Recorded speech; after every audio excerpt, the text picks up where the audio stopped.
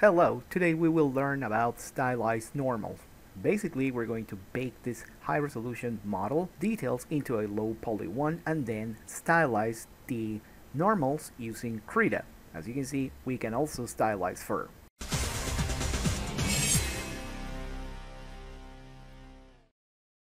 Okay, the basic steps are to create a high polygonal sculpted model and then a low retopologized model with UVs already open or UVs already created in this case. So you can see this is the buff dog and this is the high resolution buff dog that you can see in the outliner. So now we're going to select this one and we're going to switch to cycles. It is important to switch to cycles to bake the normals. And in the shader editor, we're going to create a brand new image. Okay, so I'm going to remove this one. Uh, let me just rename this one. And this is the material okay? So let's remove this image. Shift a add an image. We're going to create a new image 496 by 496 name it accordingly and uncheck alpha. Also you can create a 32-bit float image and Krita is going to handle this very well. Anyways switch to the image editor and select the image you just created now in cycles, make sure that you have GPU active to compute faster and in the bake options, you're going to select normal, okay? And in the normal, we're going to select object as our source. And we want to use this option cage. This cage will encompass all of our rays to bake. And what we're going to do here is to make sure that all of our modifiers are applied, including the mirror modifier. So Shift D to duplicate our retopologized model and we're going to call this cage. Select the high polygonal model, then control click on the retopologized model. From there, select your image on the shader editor and then let's go to bake and make sure that you're going to select your cage object in this case the dog cage so what are we going to do we're going to set this to 5 meters select it select it switch to edit mode select every vertices and then press alt s to scale this after that's done, you're gonna see your dog even buffier, but that's what we want. So first click the high polygonal, control click the second retopologized, and then select the cage model. And also don't forget to have your image on your shader editor selected as well. Now press bake, and when you press bake, the process is going to go on, and now you have your the baked image. That's it. This is all the entire process. You can quit the video here if you were looking for the answer, but if you want to stylize your normals, stay tuned because we're going to continue this process. So I'm going to switch back to my full um, high resolution model and then I'm going to right click on it and then select shade smooth or shade out of smooth. Both options are going to give you a different kind of shading for your model in this case to have smoother normals. This is important because if you want something in your baked normal map, then that is going to come out as well.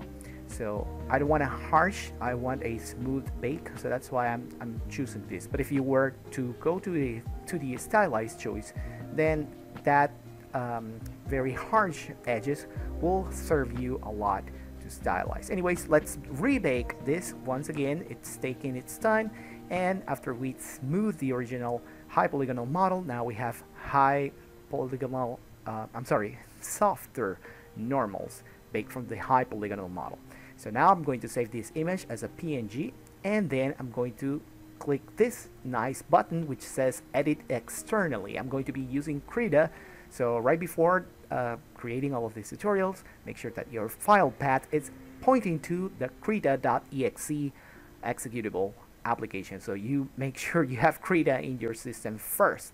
Anyways, so this opens up Krita and now I want you to um, zoom in and zoom out by using these shortcut keys and on the brush list you can have all of these brushes specifically to paint but there are other brushes like this one that I'm going to show you right here which have this little icon which is a dropper uh, these are called blenders and what they do is to softly blend colors um, from whatever digital image that you have right here.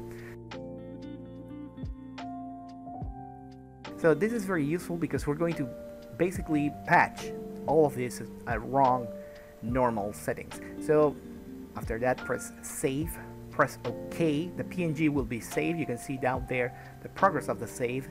You can come back to Blender and from there you can click on reload. It will automatically reload the last version that you have modified with Krita and just like that, this is just magnificent. Now you have a full retopologized model, but we need to connect that normal map. So what do we do? Here in the shader, we're going to add a normal map node, and then you're going to switch the image into non-color. This will automatically transform your XR, I'm sorry, your RGB into XYZ uh, space coordinates so that Blender understands that it's a normal map in object space. Make sure that you have object space selected. So let's switch everything off and let's see our final result. I'm going to be switching here to just to make sure that everything is okay.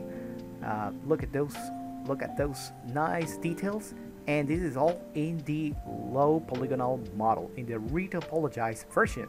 Fantastic. Now I want to show you an alternative method because the tutorial ended ago, quite ago. So you can paint, actually make the normals be painterly.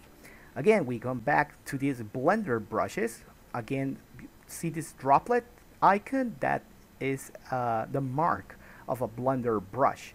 And what they do is not to paint, but rather to blend. And my, uh, my uh, stylus uh, my display tablet can read the tilt direction that I'm stroking this brush right here on the screen as you can see that's why you can see this little ov uh, oval shape that's my brush and I'm actually striking it or uh, drawing on the surface as if I was using a real brush the settings for the brush tip are right here. So you can click right there brush tip and then come here into this tab where the list is going to appear. You have different uh, brush tips so you can switch them.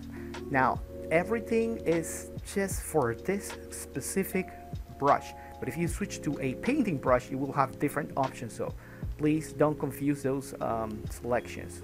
We are using blending brushes okay? So this is important because this makes it very easy for us to stylize this stuff.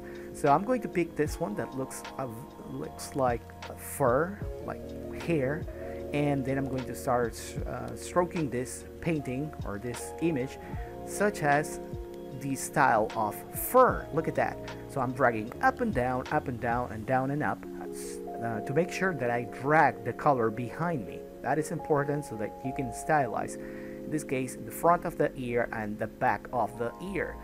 Uh, let's save this for now. Again you come back to blender and from there you can click on reload. You can see right there it's already loaded. So again we connected to a normal map. Don't forget to set it to object space in this case because we baked an object space um, model so after connecting that let's add a light and then you can see that the light will make those normals react accordingly this is the basis of stylizing normals and please because this will be the base for everything I'm going to be doing in the future in regards of stylized fur. The rewards for patrons in this month are three different models that deal with stylized fur okay so don't miss that